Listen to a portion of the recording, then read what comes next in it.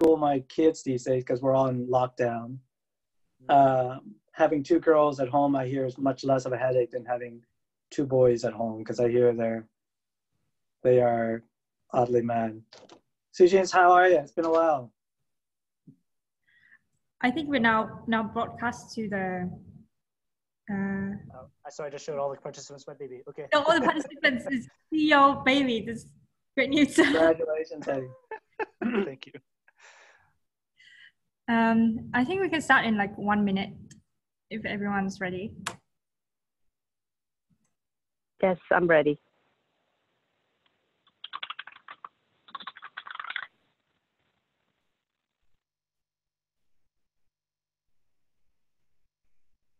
Lena, you on the line? Yes, yes, I'm on. Can you hear me? Yes, we can hear you. Um, let me see. Ru, how many, have, can you see the participants? Yeah, uh, we have 59, 60 right now. Okay, cool. I think we can start. I can start now. Um, so welcome everybody. Um, I hope everyone is all safe and well with your loved ones. Uh, my name is Chong. Uh, I'm a MPA student at Columbia University and part of the VFS Executive Committee. I'm going to be the moderator for today. Um, the topic of discussion is impact investing in Vietnam, uh, which is a fairly new topic to general audience. And we are very happy to have with us here a very experienced panel who will we will introduce shortly.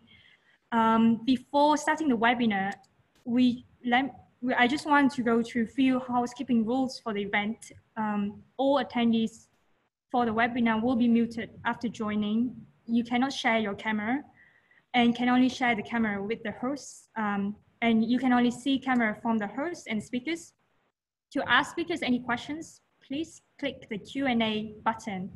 You can ask any anonymously by ticking send anonymously before hitting the send button. The Q&A button is next to the chat button. Um, and we all we will go over the most voted questions in the Q&A section. If you want to speak to speakers directly, uh, you can please hit raise hand. Uh, the raise hand button is on the left of the chat button. If you are using Zoom app on your phone, and it's on the right of the chat button. If you're using Zoom on your desktop, the chat button allows you to chat with the panelists directly or to everyone on the webinar. Please do not ask questions through chat because there is a high chance that speakers may not be able to see your questions. Um, and now I just want to pass the mic to Vu Chen, co-president of VFS, to give a brief introduction about our society.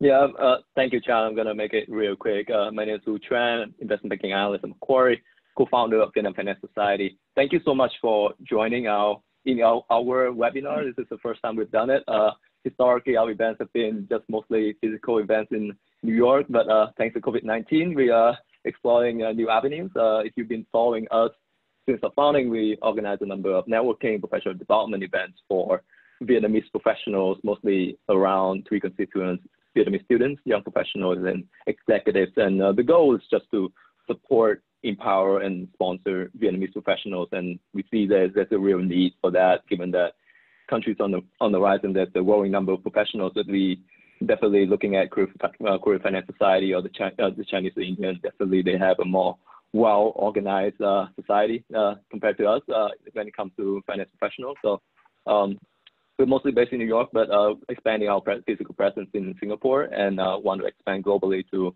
a webinar series as well. Uh, if you also definitely, if you like it, don't like it, uh, feel free to reach out. If you want to join, you have any ideas on uh, what the next webinar should be, uh, let us know. So traditionally, our events have been in person and very interactive. So we hope to do the same to Zoom. so throughout the webinar, we're gonna have Q, just like moderate questions, but in the Q&A session, I can allow like folks to kind of like talk uh, on on Zoom. So raise your hand, let us know, uh, and that's pretty much it. Uh, thank you so much for joining. Thank you, Ru, for the introductions. So moving on to our panelists. Thank you, Eddie, Lynn, Louis, and Shuyin for joining us today. Um, I would let you introduce yourself. Uh, Louis, do you want to kick us off? And then following by Lynn, Shuyin, and Eddie. Great. hello, everyone. My name is Louis Nguyen. I am the Chief Investment Officer of uh, at Mission Driven Finance, which is a impact investing firm based out of San Diego. Uh, our firm focused primarily uh, in the U.S. for our impact investing. Um, I wear another hat, which is as a, a uh, private investor. Um, been investing in Vietnam for some 20 years um, and some uh, impact investing uh, opportunities there, as well as non-impact investing. Um, and so uh, we define impact in a variety of different ways, and we'll get that into that in, I guess, in a little bit. Um, but uh, very happy to be here and appreciate the uh, the invite. Hi, I think I'm next. I'm Lynn Nguyen. Um, I uh, manage the private equity program for the U.S. government. It's um, called the U.S. Um, International Development Finance Corporation. Um, we're a development finance entity similar to the IFC or you know CDC of the UK or FMO or you know one of the um, um, 20 or so development financial institutions. Um, we have about 60 billion in capital capacity. Um, a third of that is, um, you know, dedicated to the investment funds program, which is where I sit. We have a very small team of about 12 people. So we invest only in emerging markets and really focusing on low uh, income to low middle income countries. Um, a third of our portfolios in sub-Saharan Africa. Um, I would say probably 25 to 30 percent or so is in Asia and the rest uh, is spread uh, spread out between um, Eastern Europe as well as LATAM, and really focusing on Central America um, and Mexico. Um, we, you know, in our history, uh, the funds program has been around for about 35 or so years. Um, you know, we do very small deals to very large deals. Um, mainly, we invest in growth equity funds. Uh, recently, we've looked at VC funds, so I, I know Eddie quite well because we've you know discussed VCs in Asia and as well as VC in the, the Middle East and other parts of the world. Um, impact investing for us, I mean, we had originally always thought that we did impact investing, but um, you know, in the more recent decade and in the more recent years, we we we realized that you know it's an it's the intentionality aspect of impact investing that that really counts. And so uh, we are doing more and more in impact investment, and um, you know we can talk a little bit about how DFC does it. Um, you may or you may not know that DFC just recently became the DFC. It used to be the Overseas Private Investment Corporation. Um, and so, um, with the new mandate um, and a new statute for DFC, we basically added equity authority and grant funding and technical assistant uh, funding to our uh, set of tools. And so, uh, very exciting times. And I know we'll get into this topic later uh, COVID 19 and the impact and the fallout. Uh, of COVID-19, especially in our markets and especially in you know the, the, the poorest countries, and so we can um, you know go over what we're trying to do to help out. Great. Um, thanks, Lynn. Hi, I think I'm next. I'm Shuyin Tang. I'm a partner at Patamar Capital. Um, we're an impact investing firm um, which invests across Southeast Asia as well as South Asia. Um, so I've been living and working in Vietnam for, for eight years um, and, and lead our Ho Chi Minh City office. Um, so we basically take a venture capital approach, um, investing in companies which are having a positive impact on, um, on low income and low to middle income communities in, in the region. Uh, we have offices in Ho Chi Minh City, in Jakarta, in Manila, um, in Singapore, in Colombo, and Bangalore, as well as kind of our, our kind of legacy office in, in San Francisco. Um, so we've been investing in the region for, for 10 years. Have uh, made investments in Vietnam, such as you know Topica as well as JupViec, um, and yeah, we'll be happy to share our thoughts on, on impact investing um, and in, in Vietnam and, and the broader Southeast Asia region on this call. Thank you. Cool. And uh, I'm Eddie Thai. I'm a partner with 500 Startups. We are a uh, traditional global venture capital firm, uh, headquartered in San Francisco, but with presence in a couple dozen markets around the world. Uh, we have been in recent years the most active venture capital firm uh, globally by deal count. Uh, that's partially because it's uh, easy for us. Our strategy is lots of little bets. We invest in the seed stage in uh, technology or tech-enabled businesses uh, wherever we see a lot of potential. I joined 500 Startups along with my partner Binh about five years ago. Uh, and uh, we have uh, since set up a venture capital fund focus within 500, focused specifically in Vietnam. and in the last few years, we've also been the most active VC investor here in Vietnam by deal count. Um, we now have about 60 companies in our portfolio. Although we're a traditional firm globally, I personally have a lot of interest in impact, uh, and that reflects in our portfolio. We have about a dozen companies that uh, I would classify as uh, impact focused. And we'll talk more about that later, I, I, suppose. I've been here in Vietnam, in Saigon, since 2012. Okay. Thank you so much for your introductions. Um, just want to kick off the conversation. Uh, it might be helpful to understand the definition of impact investing for in, in the interest of the audience. So impact investment as defined by global impact investing network are investment made with the intention to generate positive, measurable social and environmental impact alongside a financial return. There is a lot of debates going on in the industries regarding the definition of the impact. Um, Lynn, maybe we can start with you. How does your organization define impact and how this drives your investment strategies?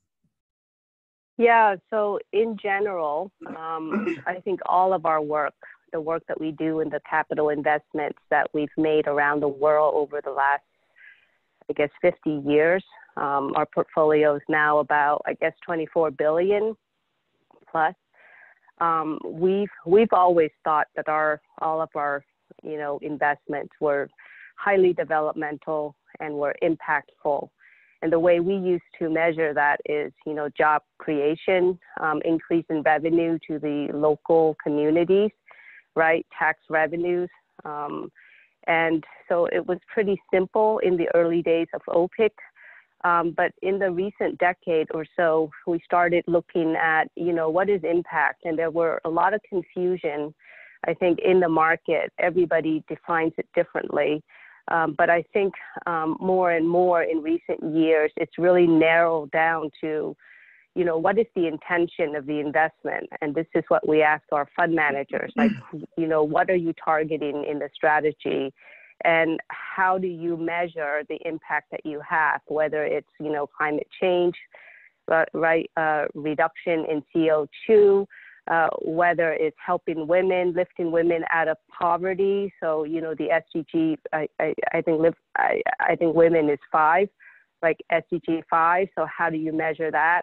And really getting into the granular and very detailed level of, you know, what is the purpose, what is the intention, what metrics do you use to measure whether you've achieved that, um, and how do you report and how do you monitor and how do you ensure that you're meeting those objectives. And so for me, from a funds perspective, right, because this is where I sit, we invest in private equity funds our impact funds are large and small. I think there is a misunderstanding that, you know, only very tiny high risk funds in frontier markets are impactful.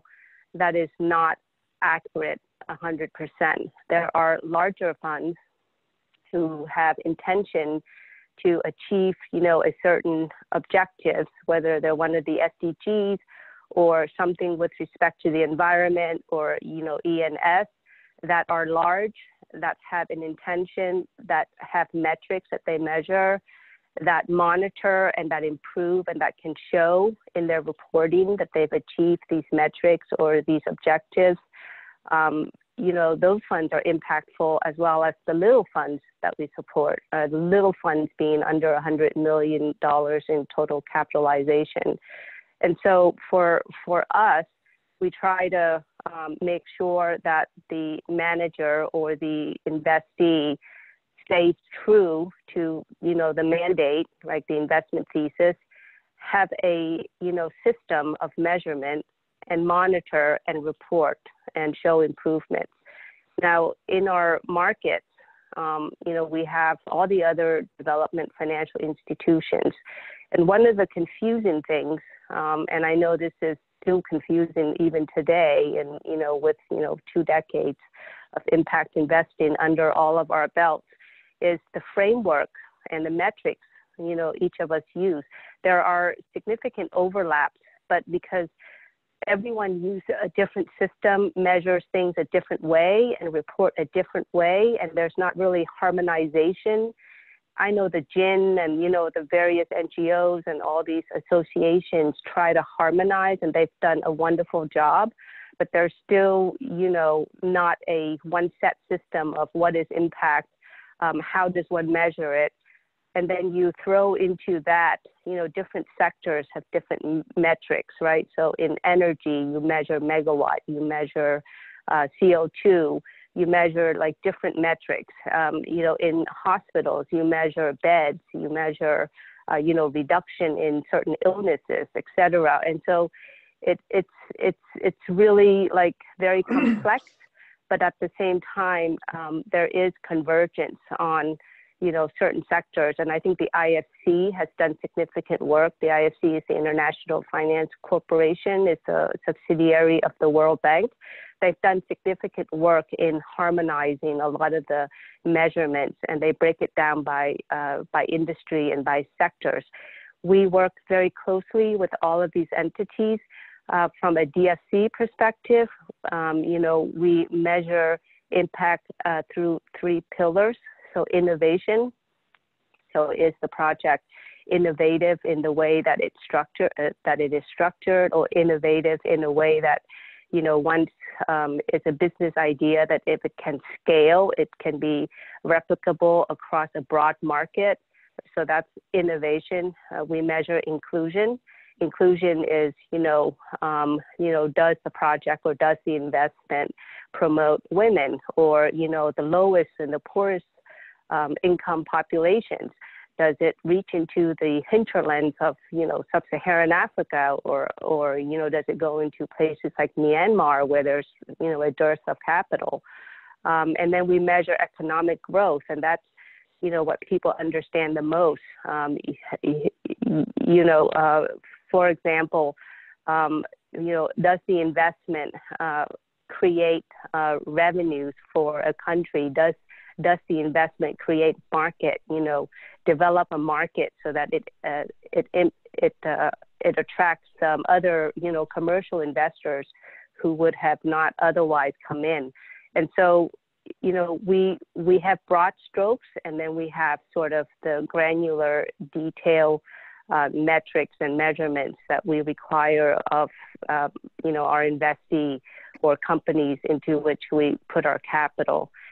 And so, um, you know, I'm I'm I'm I'm pretty sure that um, um, Eddie and Sri Yan um, and Louis will have their own version of what they believe is, or you know, what their firm believe, um, you know, is impact investing. And um, you know, I'm not sure if your audience know, but we are invested in Patamar, which Shuyin. Um, and so hopefully Shuyin can tell us um, you know, how she does impact and, um, you know, her interactions with uh, the DFC and, and, and what we're expected, uh, uh, you know, Patamar to report on in terms of metrics and, um, and how, and in terms of monitoring not only the ENS, but the, you know, different areas that uh, Patamar wishes to make a difference. Yeah, thanks, Lynn, for that's a very comprehensive overview. What's going on um, maybe Shuyin, if you want to follow up on. Yeah, what... I can. I can. Yeah. yeah, certainly touch on some some key points there. Um, I think Lynn gave such a great overview of you know just the definitions and kind of where the field is is right now. Um, yeah, I, I, really like the the GIIN definition actually that, that you first read out, Chang. Um, I think it captures, I think, two really important aspects for me. I think the first is still that intentionality piece, which which Lynn mentioned. Um, it's you know how do you set your intentions? How do you define um, the the fund's goals? Because it, it will be different, right? I mean, as as Lynn mentioned, I mean some firms focus on you know climate change, and you know for us we're focused more on kind of economic impacts, right, and economic growth. Um, and then I think the second piece is, is the kind of the measurable in that definition, right? A measurable social or environmental um, return. And I think, you know, Lynn also got into some of the nuances and, um, and, and, and challenges sometimes of reporting that impact. Um, maybe I'll, I'll share from a fund manager's point of view, you know, like exactly how, how we do it, right, as, as an example to make it um, very tangible um, for, for those on the call. Um, you know, so for us, as I mentioned, you know, we define, um, we, our goal in, in terms of impact is having, you know, a positive impact on the economic prospects of low and middle income communities um, in the countries where we operate, so Southeast Asia and, um, and South Asia. And, you know, I think often we get asked like, oh, you know, what's the specific like dollar per day cutoff, right, in terms of the earnings of, of these, you know, how do you define low and middle income communities? And like I, I, have to say, right, I think it's, it's very contextual, right? It, it's, um, you know, I think often people looking like, okay, what's the one metric you could measure or what's the one, you know, bar that you can set? I actually think, you know, it, it really comes, at least in our case, I think we found it comes down to having people on the ground who really understand, um, you know, these, these communities and contexts where we invest, right? And, and define, okay, what does kind of underserved look like in this context, right? What do marginalized groups or underserved communities look like, right? And then, you know, uh, what does it mean to provide them with better access to whether it's healthcare or education and, and so forth. Um, so I think that's, that's the way we think about it. You know, how do we pro provide these underserved communities um, with, with better access to, you know, essential, you know, goods and services which improve their lives. Um, we quantify that on, on two dimensions. Um, and I think it's, it's, there's no rocket science here, I have to say. One is the breadth and one is the depth of the impact, right? So breadth is in terms of the number of lives directly touched by, by the companies that we invest in.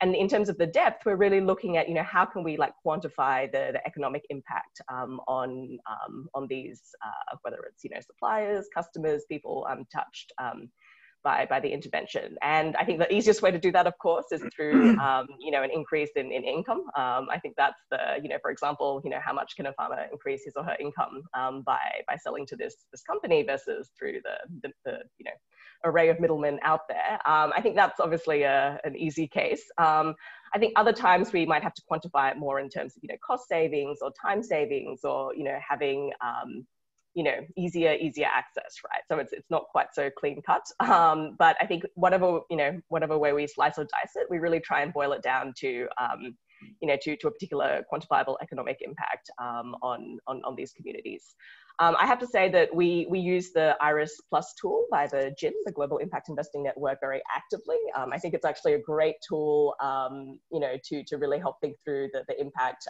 They've really tried to you know, provide different, I guess, um, frameworks and kind of sets of tools uh, within different sectors, right? So I think if you actually, you know, if you go into to like healthcare, right, it actually says like, okay, you're investing in healthcare.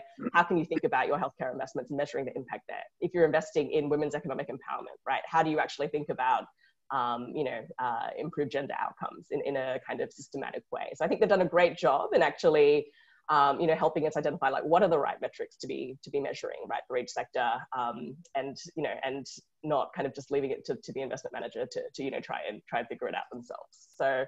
Um, I would say, while yes, there's still some further work to be done, I think we're definitely moving towards kind of alignment and convergence um, in the impact investing sector. And it certainly can't be used as an excuse. I think some people say like, oh, you know, let's not do impact investing because it's too hard to measure. I, I, don't think that excuse is, is really that acceptable anymore. I think we've made incredible process, uh, progress over the past, um, past several years and decades even.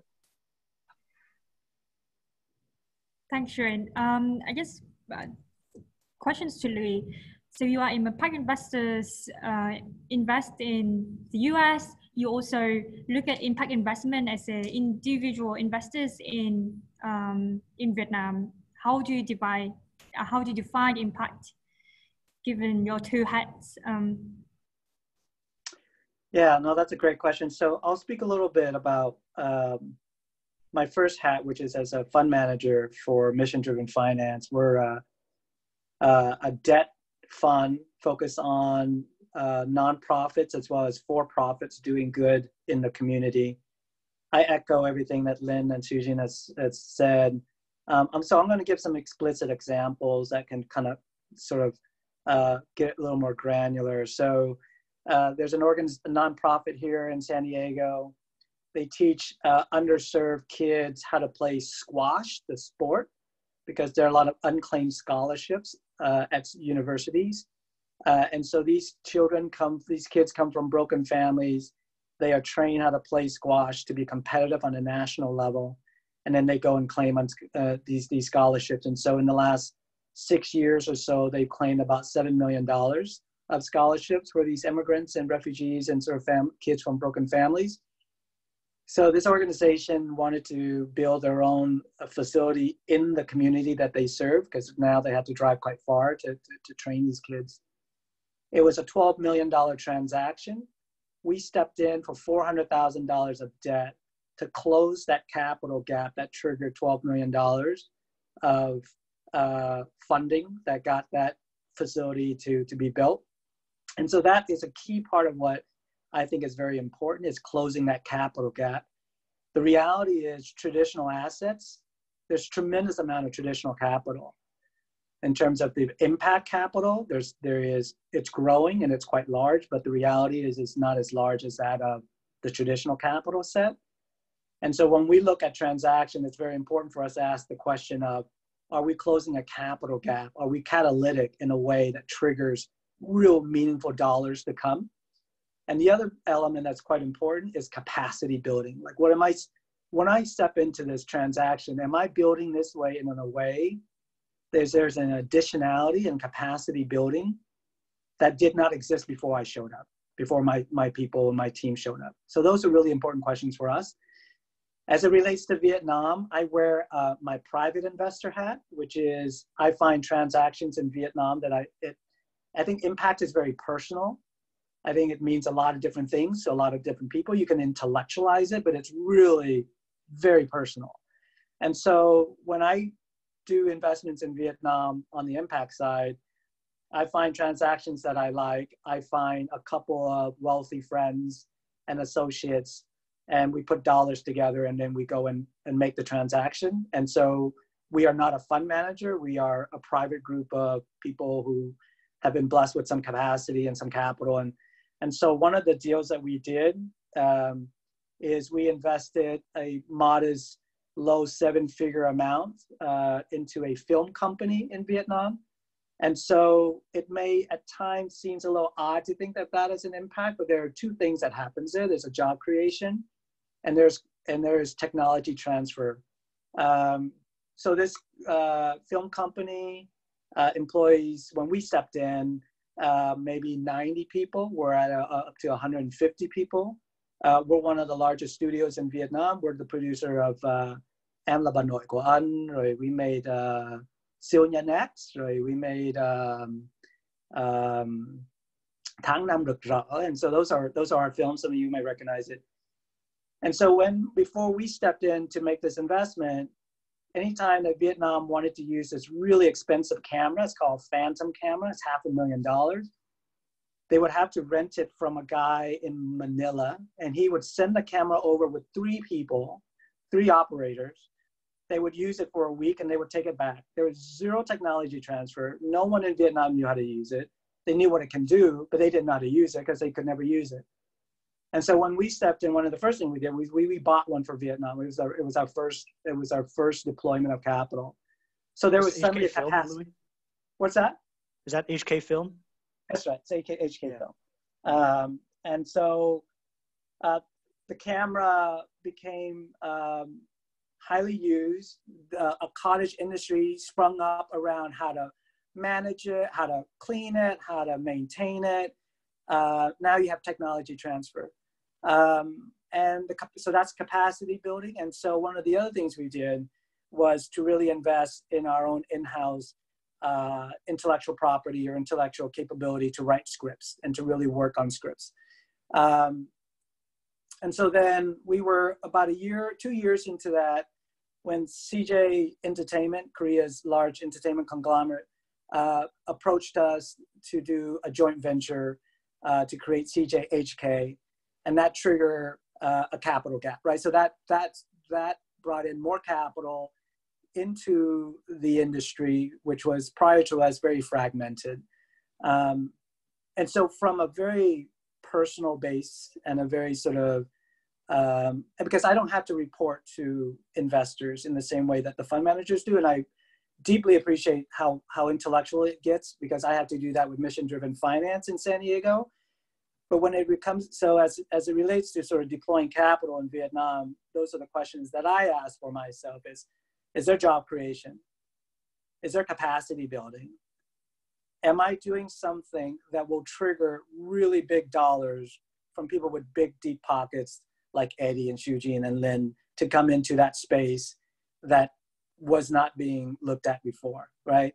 So there's no point in me going to uh, renewable energy uh, because there's a lot of money into that space already, right? Unless it's a really sort of interesting technology, no one's backing, then we'll look at it. But those are always the question that we have to that I ask, and I and and that's personal to me is how am I how am I closing that capital gap so that larger players and more traditional capital players uh, will want to come in after after I've been involved.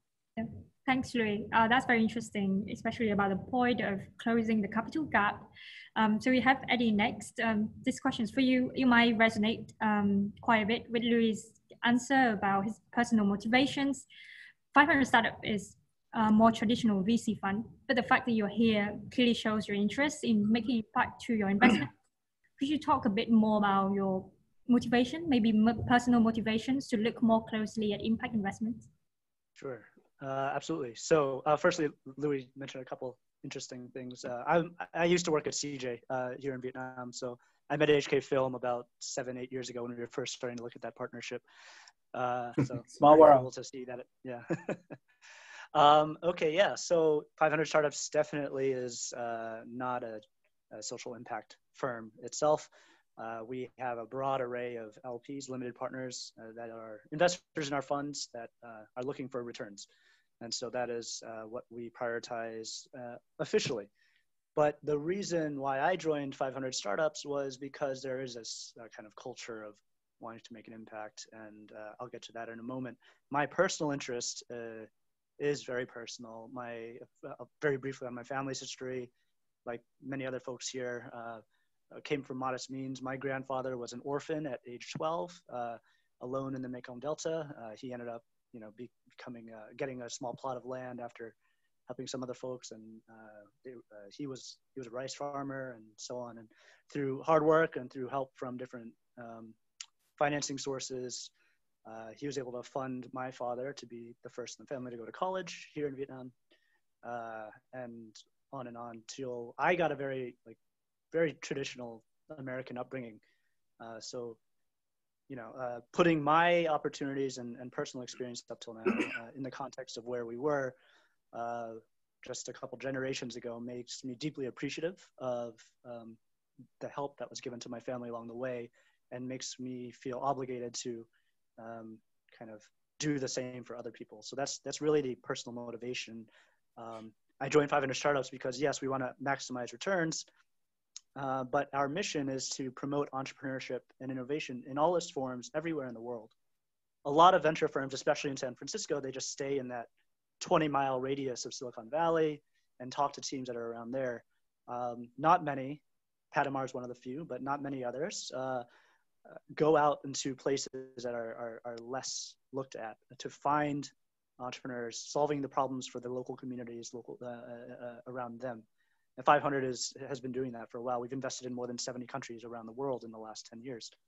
So uh, that is that's why I joined 500. Uh, we ended up raising a fund uh, for Vietnam at a time when the Vietnam story was very much seen with skepticism on the tech side. Um, a few venture firms had been established here uh, more than 10 years ago. Uh, their returns were uh, not what folks had expected. So by the time we were raising a new fund, uh, there was a fair amount of skepticism. There was a, a large capital gap uh, existing, uh, and and not a lot of interest in dedicating a, a, specific vehicle to Vietnam. So, in setting setting up this fund, it's only fourteen million dollars, so well within Lynn's range of a tiny fund. uh, but it's it's been able to go a long way. Uh, we've been able to provide finance quickly to different entrepreneurs, and um, you know, the reason why we didn't emphasize, we, did, we didn't specify as uh, an impact fund was basically to get capital from folks who, a broader array of folks uh, who, you know, uh, otherwise may not have had a specific interest in backing an impact fund focused on Vietnam at the time. Um, Uh, so out of the 60 companies we've invested in, a lot, a number of them I, I would not classify as impactful. They're very conventional, or even as as anti-impactful, I guess, as a luxury e-commerce website. But um, uh, just by nature of investing in a place like Vietnam, where a large portion of the population, a large portion of the country is still very much developing, still very much emerging, uh, we naturally come across all kinds of opportunities. Uh, our firm, in terms of impact, focus on kind of four SDGs. Uh, education, which is always easy to talk about, uh, economic growth and the future of work, which Shuyin mentioned, uh, industry and infrastructure, and then of course sustainable cities and communities. Uh, so out of those four, uh, we've been able to find uh, so far a dozen companies we've wanted to invest in. And um, in fact, our, what I've classified as impact um, companies are, are doing substantially better than our conventional startups so far. Um, so, uh, you know, uh, I'll, I'll, pause there on, on that. And the, I guess the last comment is on the measurement we don't, as we're not an impact investor by definition, we have no obligations to report impact at a, at a portfolio level. Uh, but we do uh, incorporate some aspects of it in the uh, in, in, determining whether to invest in a company. Uh, and we, it's very simple. We'll just look at one metric that that matters, and we we do a different metric for each company. Uh, and uh, we don't want to spend a lot of time really like doing the academic exercise of, of really saying okay what's the marginal impact in dollar terms for the for the direct um, recipients uh, what's the indirect impact and so on there is value to that but our tickets are only $100000 so at the end of the day we want to move pretty quickly uh, one to, to, be very specific, one example. Uh, we talk about it often, so Shuyin will know what company I'm about to bring up. But um, there's a company called Trusting Social, which we've invested in a few years ago. It uh, develops has developed an alternative credit score for the unbanked and underbanked. Uh, so for people who don't have a, a, history of formal banking activity, how do you give them uh, uh, assess their credit? Without an assessment of credit, they have to rely on non-traditional finance, uh, which can be very extractive in terms of terms. This company, Trusting Social, has used mobile data and lender data to create this score that anybody with a mobile phone can have. And they, in the last few years, have now scored more than 500 million accounts in not just Vietnam, but Indonesia, India. They're expanding to the Philippines and so on. So, um, you know, we did, we, to me, is uh, Louis said that's very contextual. All, I think all of you said impact is very contextual. Um, I, I think when I looked at this, I saw the story of my grandfather and my father, and I'm like, okay, obviously this is going to have an impact um, if they succeed. And so we we wrote a quick check in there. So that's that's kind of our approach. Uh, with a subsequent fund with larger tickets, we should do a little more rigor. But uh, for us, velocity of money is more valuable uh, than uh, at, at, our small tickets than than tripping ourselves up over measurement too much. Yep. Thanks, Eddie. That's yep. great answer. So I guess just touching upon, um, Eddie, you mentioned you made a comparisons between the more impact uh, companies that you invest in and the non-impact one that you talk about. So I guess this question is for all the panelists. Um, what do you think when people say impact investor have to sacrifice financial returns in order to make social impact? What is your view on this? Um, maybe Shuyin, you can start. Or... Happy to. Um, well, I think as it's often said, right, you know, impact investing, it's, it's a spectrum, right? And I think on one end of the spectrum is a part, you know, is an area where you can actually generate risk, you know, adjusted um, commercial rates of return um, and have, have, you know, impact, right, defined as, as, as your firm kind of defines it, right? So I think it's definitely possible. You don't have to sacrifice um, financial return to, to have an impact. But I think there are many other parts of the spectrum, right? The entire middle part of the spectrum, where yes, you would be looking at a concessional rate of return to um, uh, to, to actually have, have an impact, right? I, I don't think it's possible to um, necessarily reach, say, the most um, underserved communities, to reach the most marginalized um, groups, right? Whether that's, you know, people in very remote areas of Vietnam, whether it's, um, you know, say people with disabilities, ethnic minorities, I mean, people who have been really severely disadvantaged by, by the system, right? And still achieve like a, you know, 20% plus IRR, right? I, I just don't think that's, um, that's, uh, that, that, that's, that's very feasible. Can you achieve, you know, a 20% plus IRR through doing impact investing? Yes, absolutely, right? Um, there's certain strategies for doing that, but I think that depends on, you know, your fund's mandate, how you've defined what, what you're setting out to achieve. And I think um, as, as a sense check, like when I'm thinking about different kind of investment strategies, I'm always assessing like, okay, you know, does the, does the impact goal, is it clearly defined? And is their financial goal clearly defined? Or do they actually make sense, right? alongside each other um, because I think certain financial goals are incompatible with certain impact goals, right? Um, and I think as we try and uh, you know um, you know add some discipline in, in our industry, I think it's an important thing to, to, to consider and hold ourselves accountable. I think Louis has a point so he wants to add. Yeah, I just fantastic points, Eugene. I wanted to. I think when you first approach that question, or when when that question asks, it's you got to start out with what what asset class are you talking about, right? Is it is it debt? Is it equity? Is it venture? And there are a lot of foundations who are willing to be catalytic, where they want to be concessionary, where they want to be first loss reserve, they want to be first one in, so that it it closes that capital gap for other investors to step in. So to answer that question, assuming what the capital, whatever your asset class is, uh, I would strongly agree and, and, argue that you do not have to give up returns. Um, and one, two points that I think is really important here for me personally is there are uh, there are a lot of businesses out there that is impactful. But if you go up to the entrepreneurs and say, "Do you realize you're an impact company?" and they're like, "No, I just provide childcare. I don't. Uh, this is I do something because the community needs it. But they didn't start out thinking to themselves, I want to be an impact firm and this is what I'm going to do. Or someone who runs a rice farm or a coffee plantation and employs hundreds of people in that community, gives them great jobs, give them great training, because that person has good compassion and they, that person cares about the community. If you go up to that person and you go up to that woman who owns it and says, Do you know you have an impact investment firm? They're like, no, I just do it because I care about my community. And so, from my standpoint, that's the kind of companies that I actually look for. I think there's there's incredible need for people like Eddie and Shuyin and and on a much larger scale what Lynn is doing. But I also look for just old economy, brick and mortar, where they make good money, good cash flow, and they add something meaningful to their to their community and for whatever reason they need capital because they're expanding to a second location or whatever it is. If i see that as some community could use whether it's an english school or whether it's early childhood education or maybe it's just creating jobs that to me are investments that can return well for the risk that i'm incurring. Again it's the asset class that you're you're putting yourself that you're you're, you're deploying so, in answer to that specific question, I think generally people have thought that you have to give up on return to do good. I think in this sort of new wave of impact opportunities, I would argue that you wouldn't have to.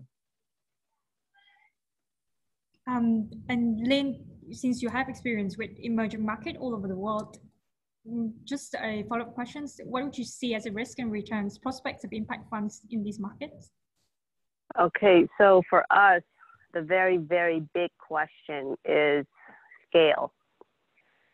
So in order to make a difference, because the SDGs, you know, there is a lack of capital going into the SDGs, I think it's trillions of dollars. You know, it's not even hundreds of billions, it's like trillions of dollars to solve all of these development type issues, right? From, you know, women to, uh, you know, low income populations to healthcare to pandemic, like the one that we're going through right now. We're all on lockdown um, to you know reducing access to you know telecommunication, financial services. I mean, there's just a whole host of developmental challenges that we all try to solve. And in order to solve these, the government, like ourselves, and you know the IFC and all the other entities, we can't do it because there's not enough capital. We need the private sector. The private sector um, players most of them, right, the pension funds, the family offices, I mean, leaving aside the, you know, the impact investors who, you know, do have a trade-off, you know, between risk and uh, risk and returns, and are catalytic, uh, you know, per Louis' description, and uh, I think somebody else talked about catalytic capital too.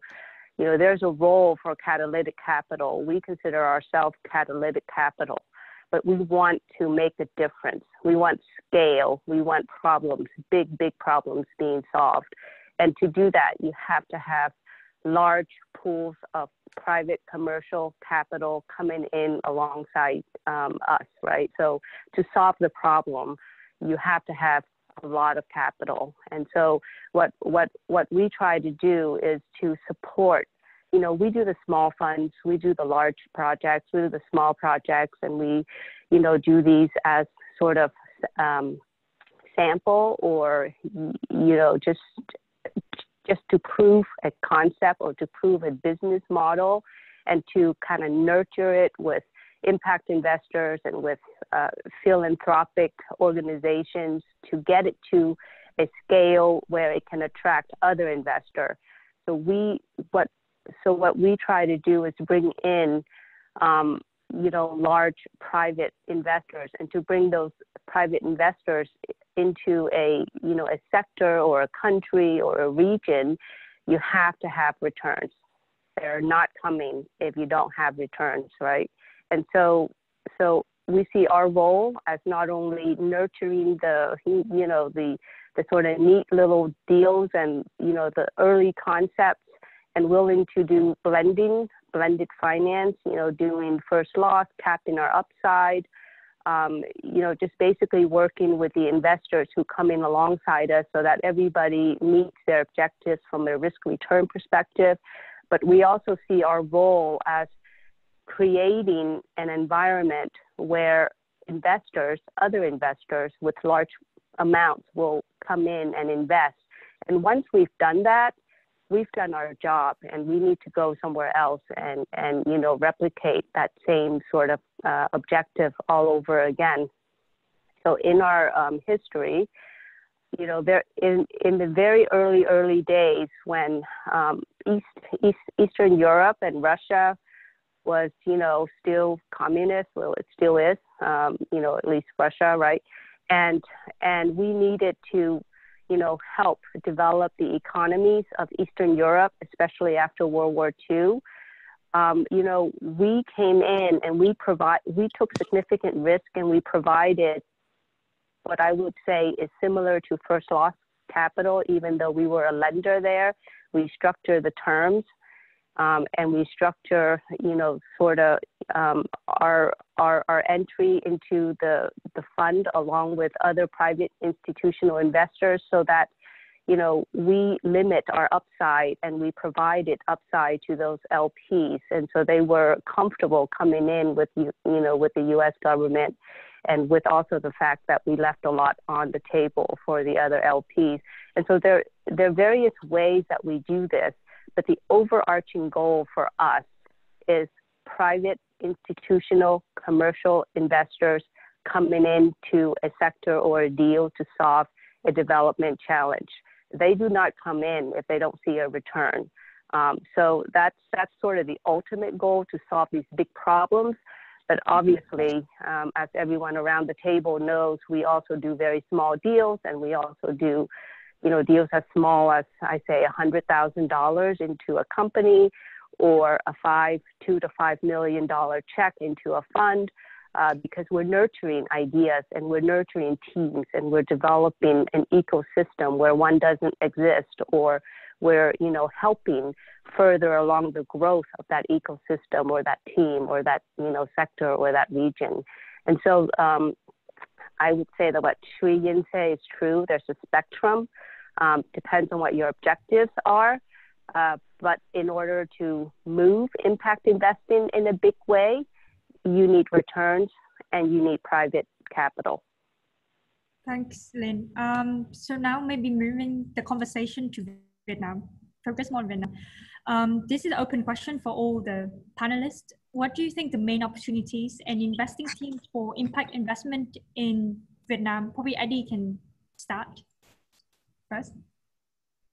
Sure. I mean, I think Vietnam as a market uh, is interesting not for not just for its itself, but also as a, a, a hub of potential innovation across similar markets. So um, it's a very simple graph that folks can probably imagine in their head. If you put GDP per capita on a horizontal axis, and you put math and science ability of, of the population on a vertical axis, um, obviously Vietnam's on the far left in terms of GDP per capita.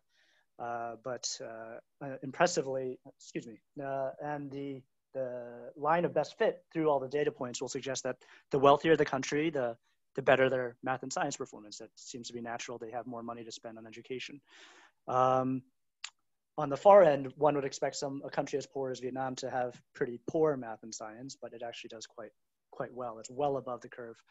Uh, and you you go to the you go across the line and you see China is up there, Russia and, and the U.S. all countries very well known for math and science. And what that means in practice for for impact is you have basically a population that is familiar with math and science, a large number of people who can go into engineering, uh, soft, software development, and other forms of engineering, and create tech-driven solutions for the problems that they see around them.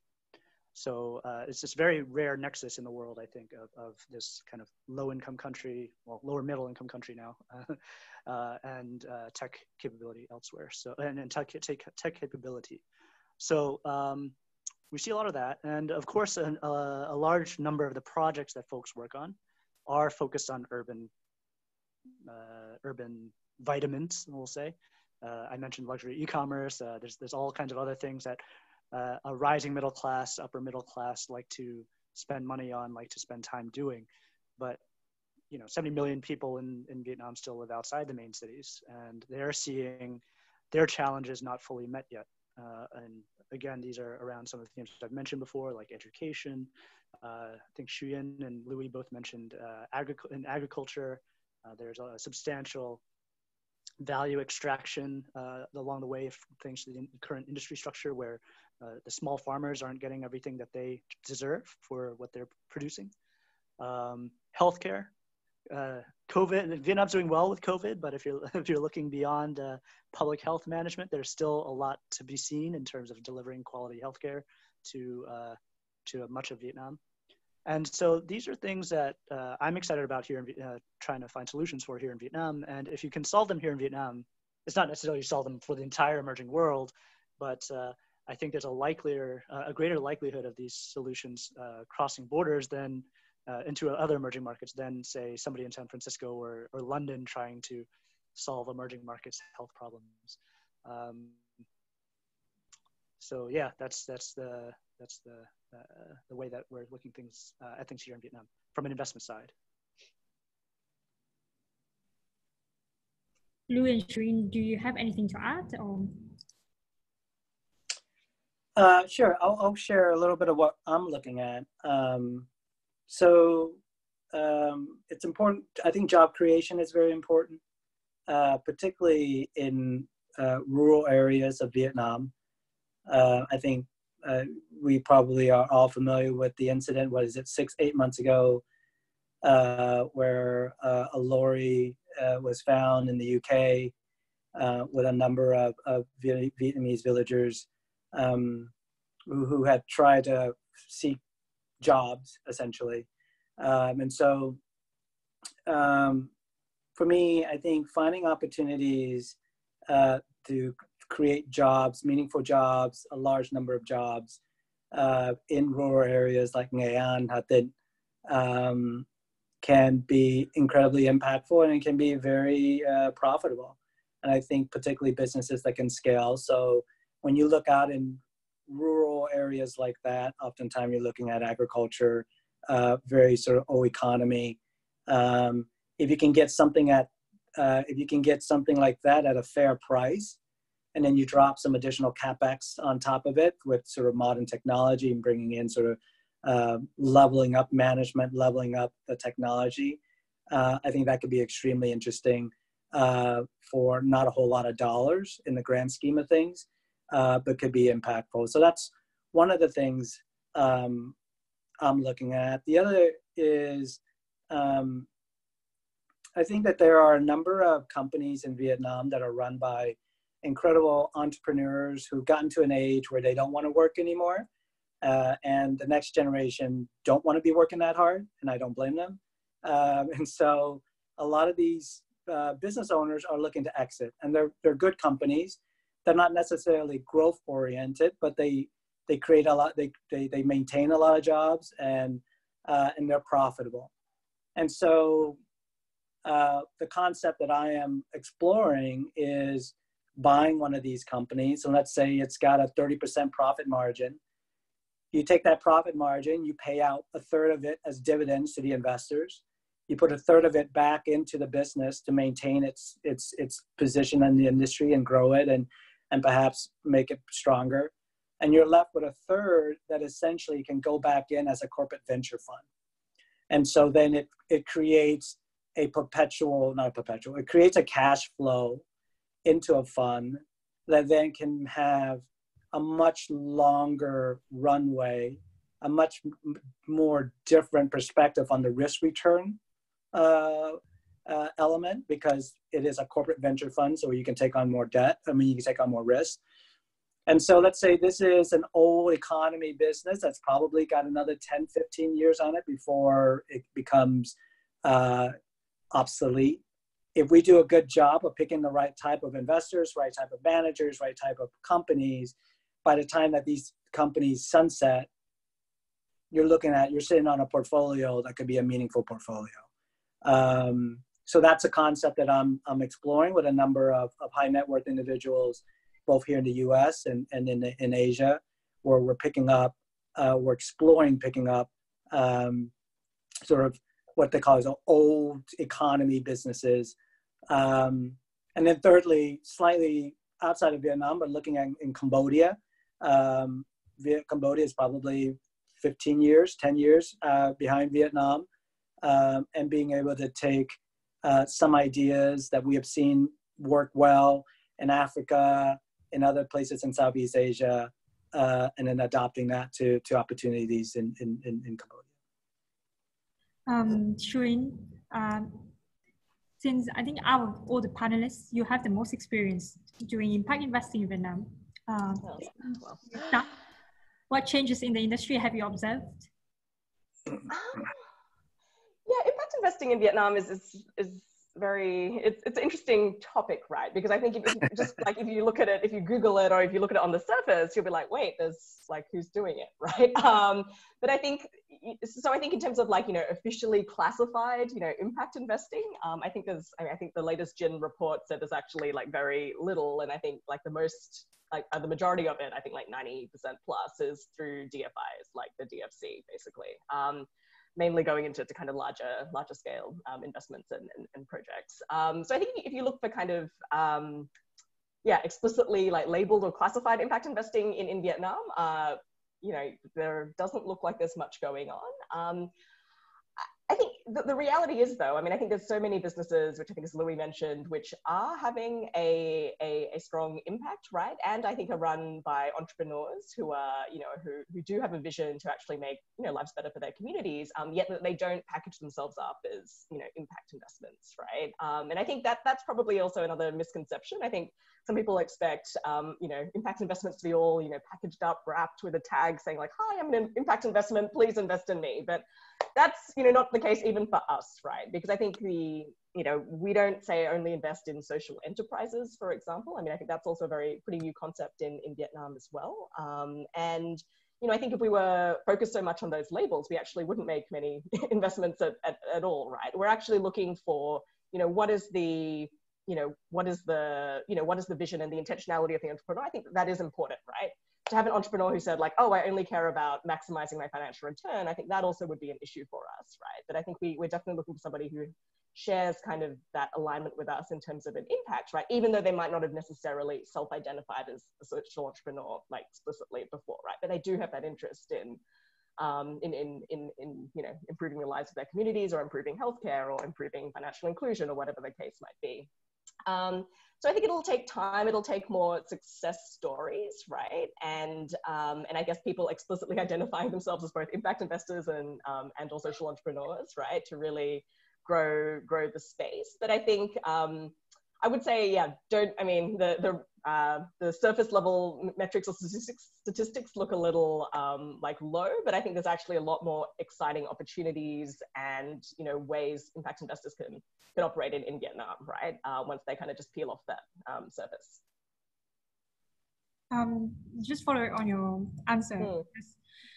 It's what are the main challenges you've seen in carrying in carrying out impact Mm. investing in Vietnam? Is it getting the capital? Is it employing the right people or issues with deal flows, for example? I would say um, I- actually think you know I think Vietnam is a super I think I mean vi- vibrant market for all the reasons that that Eddie was saying. Um, I think by the same token, I think for a fund like ours, which targets Series A, Series B investments and has a particular investment thesis that we do, I am glad that we're multi-country, right? I would say it's also probably a little hard for us to deploy the entire $100 million into Vietnam with our very specific investment thesis. Um, so, so, so I think, uh, so I guess maybe it, it perhaps is then on the, I guess, just pipeline side, right? I'm not, I'm not sure that there's, you know, enough pipeline to support our specific investment thesis, right? Not to say that there's not even, you know, there's not enough yeah, opportunities for impact investment in Vietnam, but I mean, obviously we have a very specific thesis, a mandate to fulfill that you know, only in Vietnam, I think would be a challenge at this point in time. But, uh, you know, but to do that across Southeast Asia, um, I think there's rich pipeline opportunities available. Um, I think the other, um, I think the other interesting thing that we're giving a lot of thought to these days is that the commercial like investment um, or commercial venture capital scene specifically in Vietnam has really accelerated, right, over the last, let's say, two to three years, like in particular. So, I mean, a lot of, say, money from North Asia, so particularly Korea, Japan. I mean, you know, money, money's flowing in, and I think the um, just VC events in, in Vietnam now are just always bigger and, and better each each year. Um, and I think you know one of the questions we ask ourselves is you know how do we maintain that you know catalytic and additional nature, right? As we've touched on on earlier parts of, of the call, right? How do we maintain our differentiation um, and be a, still a, a unique and interesting source of capital, right? Because it's not you know, now with so much competition over deals, right? It's, I think, maybe sometimes not quite accurate to say, like, oh, we're the only investor who would have made that particular deal, right, in that fintech company, which is benefiting financial inclusion. Now, actually, they're like, great, it's serving the, you know, there's many commercial VCs who are also like, great, this is serving the, un, you know, unbanked or underbanked, let's also like get in there, right? Um, so I think for us, you know, where we still see we're being kind of, you know, additional or, or, catalytic is in the, the mindset that we bring to the table. I think our actual deep experience working with, um, with say, the unbanked or underbanked, um, I think a lot of people are talking about that these days. I mean, it's something we've been doing for the past 20 years, right? So I think there's actually more tangible experience that, that we can, that we hope to be able to bring to the table there. Um, but I think that, again, so I think maybe one of the interesting challenges that, that we face is in some ways, lots of capital actually pouring in and then how do we maintain our kind of unique um, value proposition amongst amongst all of that?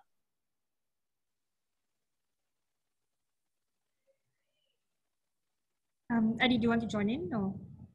Sure. Uh, yeah i mean we always hear the when the when the, this question comes up often the answer from the investors is not enough deal flow which is effectively what Shuyin said without without saying those words, and it's it's fair. Um, I think uh, in Vietnam in particular, I, I, can't speak to the other countries in Southeast Asia as well, but um, the uh, often a lot of the entrepreneurs who are working on these impactful businesses, uh, not only do they not necessarily think about their business uh, as being an impact business, but um, they may not realize the full full potential of the scale that they could uh, build out their business. And that makes it particularly hard for an investor like Shuyin or myself. We're looking for venture style outcomes, you know, 100x outcomes in the span of several years. Um, whereas, uh, uh, yeah, many of these entrepreneurs are like, okay, yeah, I mean, if in the next few years I, I triple my revenue and I expand to five more provinces or something, that's going to be really successful and sure, definitely from a, a cash flow basis, uh, you know, a, a, lifestyle business, we, we would call it in the VC space, um, that would be uh, a successful path. But uh, so, so part of our work in talking with any entrepreneur in Vietnam, but especially with uh, entrepreneurs working on these impact um, kind of angles, products or, or business models, uh, to kind of encourage them to think bigger and then to help them understand more clearly how to get there. So uh, I suppose the hope is that the work that we do at the seed stage um, can help then drive the deal flow for uh, the Patamars of the world for the Series A, Series B stage. Um, that so that's just to add a little more color. So it's it's uh, I think fortunately it's not that there aren't things to solve here. It's just encouraging the entrepreneurs to to think bigger about how to solve them. Um, on in terms of the capital markets piece, uh, yeah, definitely a lot more interest these days than when we launched our Vietnam fund several years ago. Um, but uh, these these foreign investors are, are less uh, less familiar with the market. Um, they definitely distort valuations and things like that. And uh, when push comes to shove, they they can't help on the ground as well as uh, folks who have been on the ground for quite some time. So um, there are you know valuation distortion when, when somebody's willing to throw more money at a higher price at a company that, that does create some challenges. Um, but uh, I, I, suppose the most um, the, the more sophisticated entrepreneurs and, and uh, they, they're, they're looking for kind of strategic value add on top of that capital. And that's when they come to that's that's when uh, folks like Patamar 500 et cetera can still can still win at a, at a reasonable terms so given the time constraint, this probably will be the last questions for the discussion sections. Um, Louis, you, you can provide uh, answer to these questions. Uh, how do small, smaller investors and individuals participate or even help to promote impact investing in Vietnam? Given your experience as an individual impact investors in the region. Uh, that's a great question. Um, you know, the U.S. is uh, arguably a deeper market as it relates to impact and and and, and impact as a um, a subject and a topic's been around a little bit longer. But even here in the U.S., it's difficult to find deal deal the pipelines and deal flows. That's also a challenge here in the U.S. So I think that's that's not particularly a unique thing in Vietnam. Uh, it just impact is new and to have the ability to have organizations like 500 and Patamar to build the ecosystem where there is a farm team or there is a way to to mobilize the younger individuals and the younger entrepreneurs to get into this space i think feeds into that pipeline and it just builds the ecosystem. And that's what what is being done here in the us to try to develop that pipeline and so for individuals, I think the, the I mean, it depends on your dollar size. I mean, all all investments has impact, right? I mean, if I buy Exxon tomorrow, I'm making an ex- a, a very explicit comment about what I think about the carbon footprint and sort of the environmental situation. If I make an investment in Vinamilk or I make an investment in, um, you know, what I, Philip Morris, you know, that there is very uh, meaningful impact behind the dollars that you ploy, deploy as an individual. And so, as an individual, whether you invest in companies that you believe, you know, believe in, you buy from local entrepreneurs who you believe in, um, you know, those that's that helps uh, with with the ecosystem. If you're looking to deploy capital yourself directly, um, I think again, impact is a very personal thing, and so what you feel hits you in the gut, um, and whether you do that as an individual investors, whether you that do that through one of these great funds, you know, your decision on what you do with your dollars has ramification up and down the ecosystem.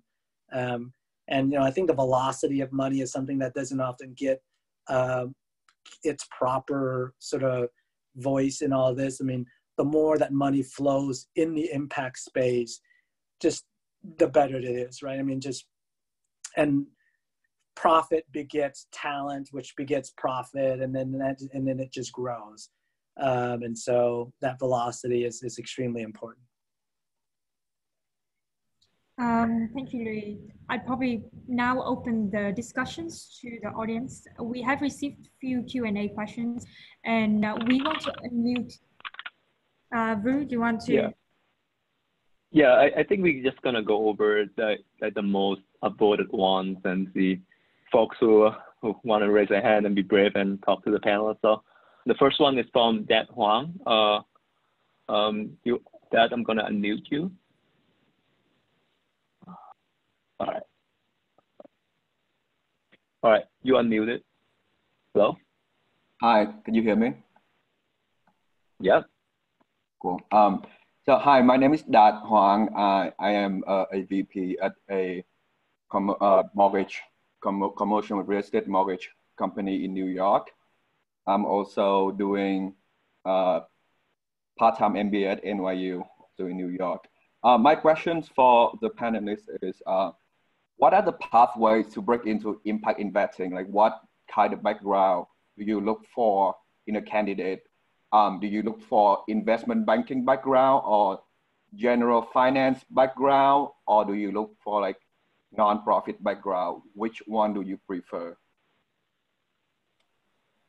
Do you want me to start? Yes, please. Yeah, go ahead. Yeah, I think it's it's mainly if you want to go into the business of in, investing, whether it's impact or otherwise. I think you need that investment uh, banking background, especially if you want to go into private equity. Right, you have to be able to do uh, mergers and acquisition um, tra- transactions.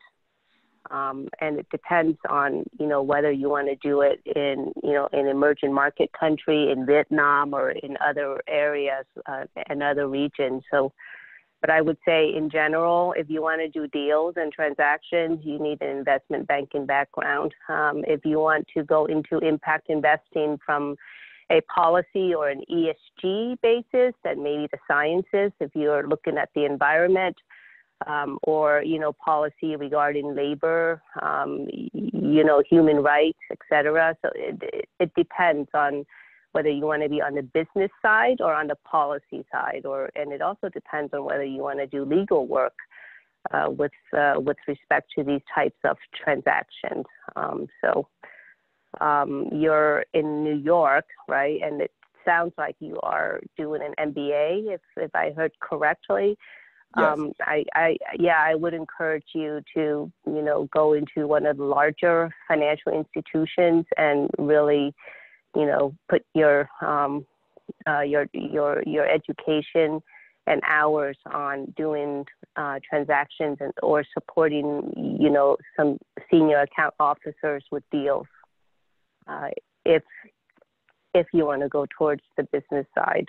Um, I think probably uh, Louis and, and, and Eddie, you know, there, there are other options, right? You could go out and be an entrepreneur and you could, you know, be an investor. You could start your own business. I mean, I think you guys are probably the, the generations Z and Y and X. I mean, I'm, I'm, I'm a little older, so I have the more traditional path, but I think uh, the younger generation um, ha- or the younger generations have different paths, and I think your your outlook on life is also different.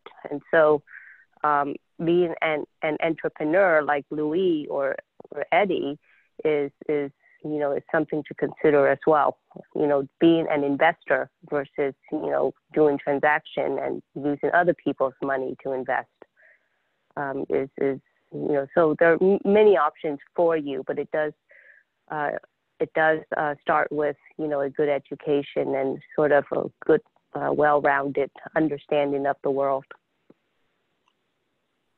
So if I can share a little bit, so my so I'm going to give a little bit about my background because it's going to inform where my opinions coming from. So I started out as an investment banker in Tokyo. Uh, and then I became a fund manager for uh, a public equity fund uh, running uh, Taft Hartley and public money. Um, and then from there, I became a private equity investor. Uh, and so I arrived in the impact space about maybe 10 years ago uh, from a personal sort of wake up one day. And so I find my training in investments, uh, I have a CFA, which is very, you know, deep in the traditional investment uh, knowledge base, which I think is all wrong because when you go into impact, all that has to go out the window. But it gives me the language to speak to those who aren't, who hasn't drank the, who have not drank the Kool Aid yet in in uh, for impact. And so, as a chief investment officer, um, I have to be able to speak to our investors as to why we did a deal supporting a uh, foster care agency, why that makes sense from a debt from a risk return perspective, and why that impact is meaningful.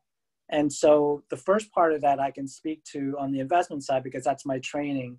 I stumble a little bit when it comes to talking about the impact side and why uh, in the language that that that is meaningful in in the impact space because I, I, I haven't been trained academically or professionally for a long time in that space and so i lean on my colleagues who are much more academically trained in the impact world to be able to give me the the wordings and the context and and the precedents to be able to make the case um, and so to lynn's point i think the very first decision node is where do you want to be? Do you want to be sort of in the trenches, doing these great, you know, sort of startups that that are solving the world's problem? Are you an asset allocator where you are sitting at a foundation, um, um, or are you um, government side, private side? Like, where's your where does it speak to you? And I think the one thing that Lynn brought up, which I really agree with, is is, is a legal background. I think we there are so many things I want to do as an investor to, because I want to be be uh, creative and, and and solve the the impact investment entrepreneur. Uh, but when it comes to the legal side of things, it becomes a real difficulty. And so having a legal background, girls, please. if you have a legal background, then it really helps solve some of those issues. Girls. Thank you. Eddie, your turn. Okay. Say bye. Bye. Uh, I think sorry, I'm I'm just gonna move on to the next question so we can uh, thank you that for um just so, sorry we, we have a lot of questions so just gonna go over all of them. Uh, the next one is from Christopher Day. Uh, are you unmuted? Hello. Hello. Yes, hello, I'm here. Yep, go ahead with your question. Okay, great. Thank and, uh, you. Introduce yourself, I guess. Yeah, so, so my, name is, uh, is Chris. I am based in Ho Chi Minh City, uh, and I am running commercial operations for an early stage venture here that is gearing up for pre-series A fundraising uh, this year. We operate in the space of technical and vocational education. Um, company was founded and continues to run really as a purely commercial operation uh, and those are sort of certainly at the forefront of what I'm doing on a daily basis is trying to run a business and build a fundraising narrative and a growth story, et cetera. Um, but really at the core of, of what we're doing, um, not only by nature of the space, but also the vision of the founder, we are an impact company. Uh, the, the, career outcomes that we produce for students are, you know, in many cases life-changing, and there's an obvious um, increase in income, both immediately after completing the training, but also more importantly on the trajectory long term in terms of lifetime earnings. Uh, as well as sort of the founder has a, has a particular um, commitment to closing the gender gap in STEM careers. So I, think related to what Shuyin was talking earlier about, I mean, the, the, the breadth of our impact is probably fairly modest, but the depth is really quite deep. And so my question is related to um, I want to gear my fundraising efforts. I want to secure um, a lead investor from an impact fund this year, uh, mostly for the reasons of strategic alignment. And I'm kind of trying to define what are going to be the core variables that we track and measure to communicate our story. But I'm really nervous about um, engaging with a number of investors on the impact front and having everyone kind of come at me with their unique angles on what impact they want to focus on and me going back and you know kind of routinely going back to the drawing board and, and trying to define new variables to meet everyone's um, mandate. So i'm really I'm, I'm hoping for some advice on how to go about selecting a very small number of core metrics that i will track alongside all of the routine metrics like customer acquisition and growth and revenues and things like that. Shuyin, do you want to take this question? Uh, yeah, definitely. Um, I I think it, it, sounds like you already know, like in, in your heart, right? Um, what what your core metric should should be, right? And I think I know nothing about your business um, apart from what you just said, but uh, but it sounds like the core outcomes are really around um, you know the, the education slash career outcomes um, and then i think potentially something around um, and and like gender integrated into that as well right? And i i think it's about kind of sticking to your knitting in terms of uh, you know in, in, terms of like spelling that out right? Just the same way that you um, you know articulate your your competitive advantage in the market right? Or any other kind of more financial aspect or business aspect um, of, of what you're doing. Um, I think you have to kind of be true to true to who you, what, what, what the organization is and, and the vision of the founders, as you say. Um, and then I think then the next step is to actually research like which or who are the impact investors who actually you know where that fits, right? Um, just the same way you would do like, oh, okay, this VC it's only investment Series A, it's not gonna we're gonna be too early or whatever, right? So I think just the same way we always give the advice, you know, do your homework on on potential investors. I think the same thing goes for impact investors as well it's just that additional aspect of like, okay, what impact themes are they focused on, and, and broadly would I would I fit right?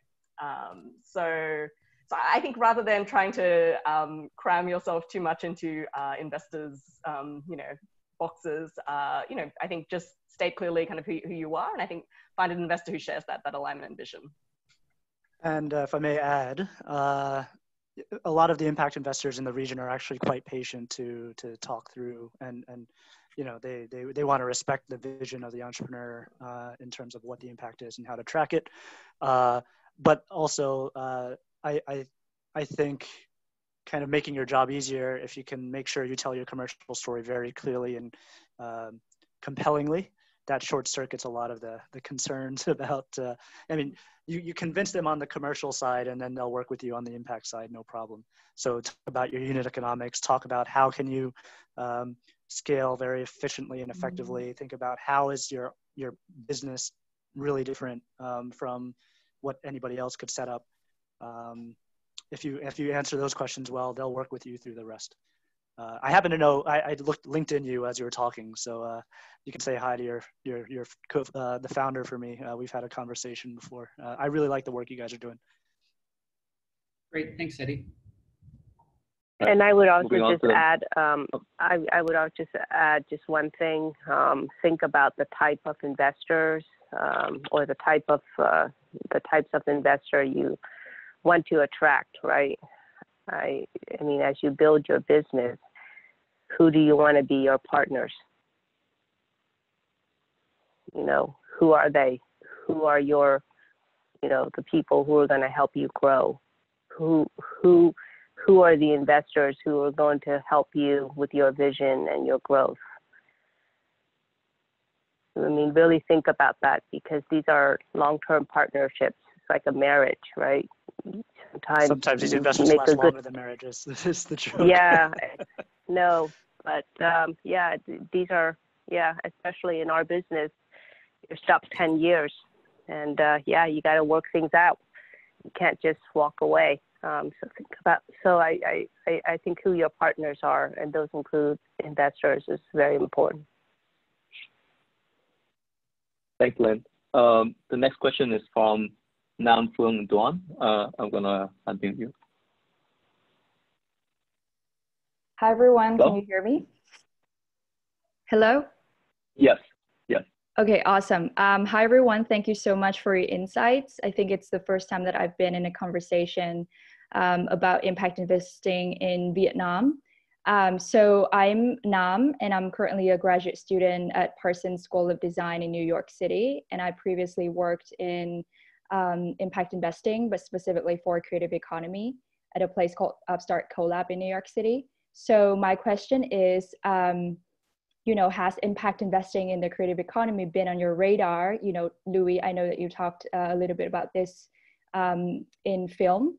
Um, and how can impact investing be deployed as one way to support creative projects and creative people in Vietnam and emerging markets? And I'm thinking about creative economy uh, broadly defined from fine arts to design to handcraft and sustainable food. Thank you. Yeah, I would uh, thank you for that question. It's a great question. Um, the intellectual um, dexterity and creative dexterity that's required in the creative space takes a lot of training. Um, and one of the one of the problems that we face in the film business is the younger people are arguably a lot more creative and daring than some of the older uh, scripts, uh, screenwriters and directors. And so finding ways to elevate that talent uh, up is um, incredibly difficult, um, although it seems very um, sort of self-evident.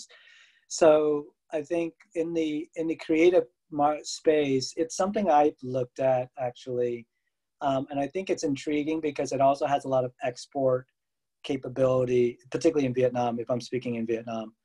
Um, and, you know, uh, where that is a, a, a, value added to that, that business model. But there are a number of uh, clothing store, clothing brands in the US that started out uh, representing a community, right? I mean, back in the days where you have uh, FUBU, right? For us, by us, uh, an African American brand really designed for that community that became tremendously successful uh, not necessarily high design or high fashion but there was a lot of risk taking involved in in that kind of design. And so personally i'm i'm intrigued by it. Um, i haven't seen uh, many of those deal flows in vietnam.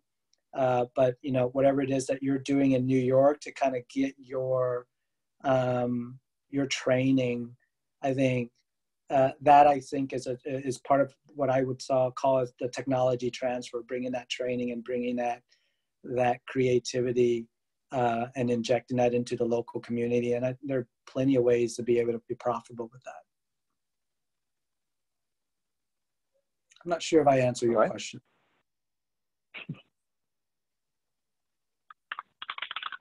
Uh, we can move on to the next question. Uh, from Claire, Claire Tran. Claire, uh, hello? Oh, hi. Oh, okay, go ahead. Okay. Um, yeah, uh, hi, I'm Claire Tran. I'm currently a senior at Temple University in Philadelphia, uh, US. Um, thank you for the great discussion.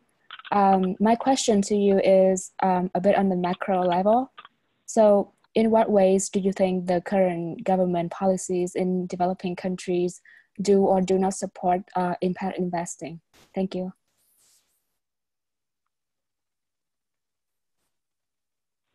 Um, maybe I can just broadly take that one. Uh, uh, it, it, depends on the country. Um, I, I can't really speak to Vietnam. I, I don't have the granularity and the direct, you know, uh, in equity investments that uh, Shuyin or, or Eddie or Louis may have. Um, so they maybe can address it from a Vietnam perspective.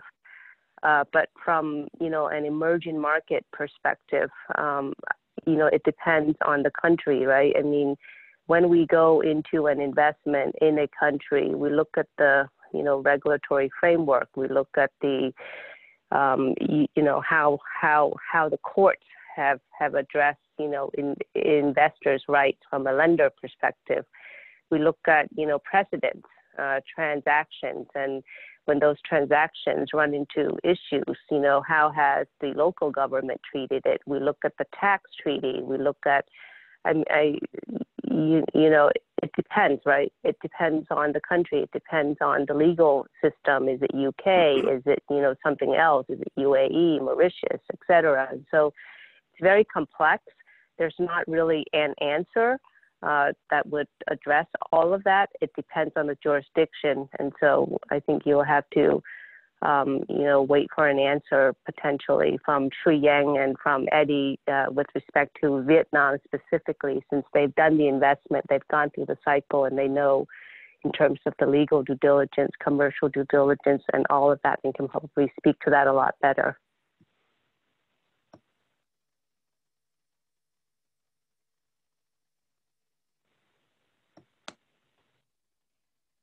Shuyin, do you want to go? So, oh, or, or is Louis going to go?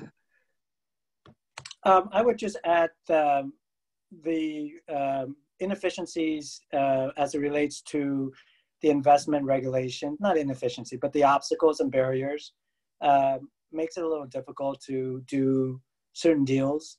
Um, and so, for example, in the film business, uh, when you make a, when you do a, a film, um, if you're an if you're a foreign investor, you have to go through what's called a BCC, uh, business cooperation contract, which is real pain.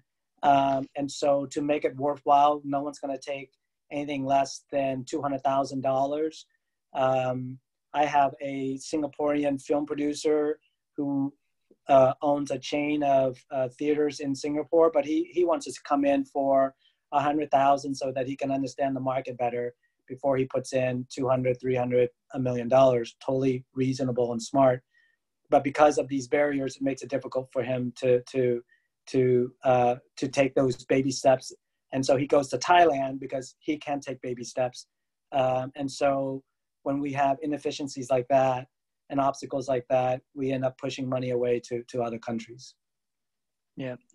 I'll uh, add on just a couple specifics here for Vietnam uh, that uh, and this is specifically around tech, uh, tech-oriented impact companies, uh, that there are a lot of regulations that have improved a lot over the last few decades here in Vietnam, but uh, still have a way to go. So as an example, I mean, Louis referenced the foreign investment thing in the context of film, but actually uh, there, there's a foreign investment uh, approval process that affects basically every kind of business. And on paper, it's supposed to take just a couple of weeks, but depending on the business, the, the age of the company, and a variety of other factors, it can still take six to 12 months to approve uh, foreign investment, especially for later stage companies.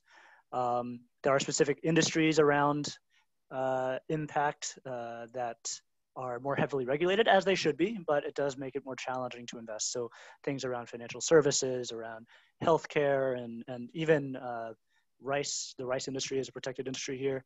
Um, it makes it harder to uh, move money quickly to uh, uh early stage entrepreneurs when they might need it the most. Uh, all that said, yeah, so the regulations have been evolving in a generally positive direction.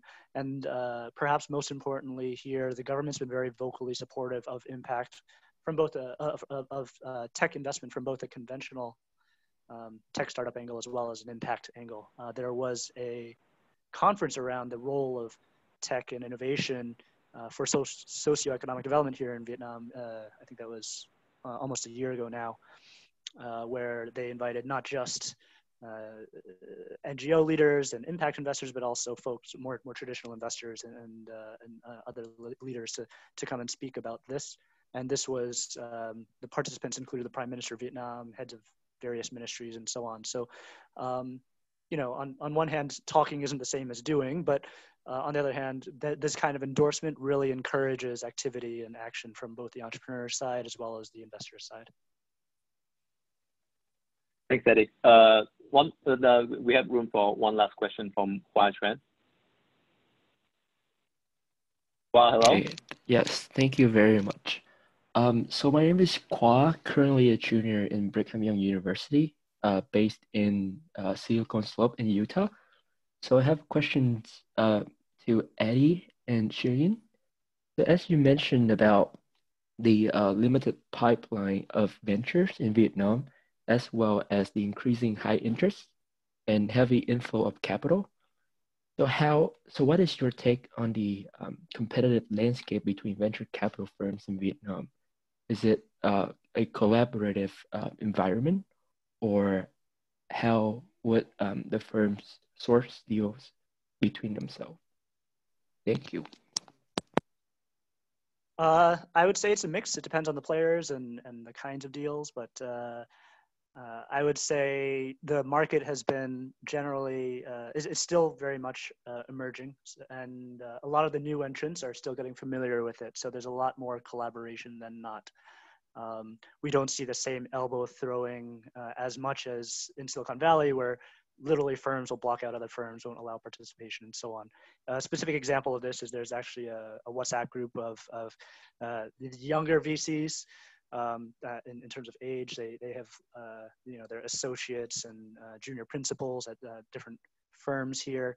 Um, they uh, have a WhatsApp group. They have a regular call or lunch meetup to discuss deals and things like that.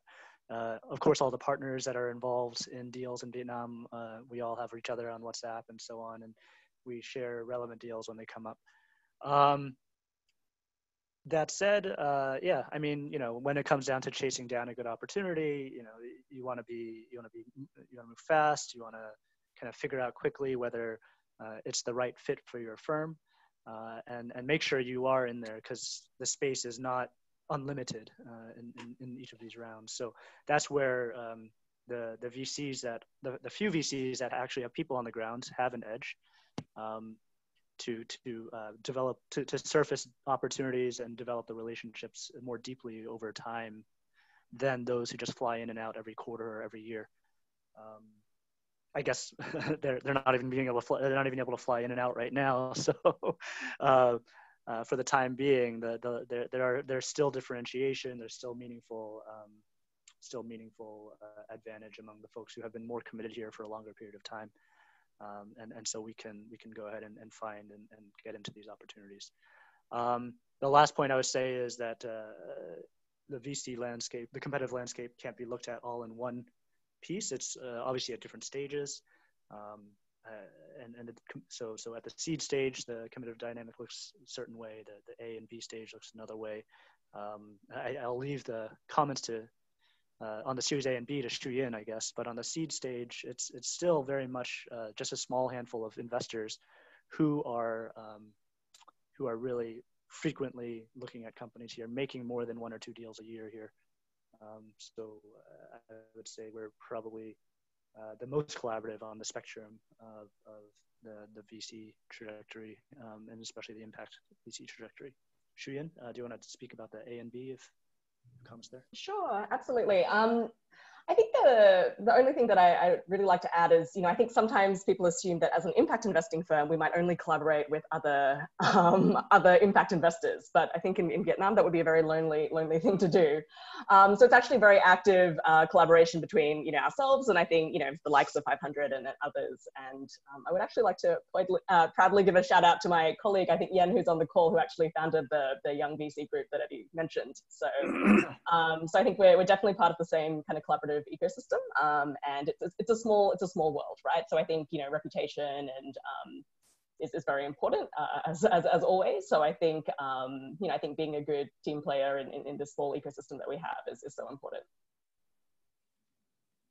Thank you. And that's the end of our webinar. Thank you so much for joining in and a big thank you to our panelists for their insights. Um, please monitor VFS Facebook page for any updates from us.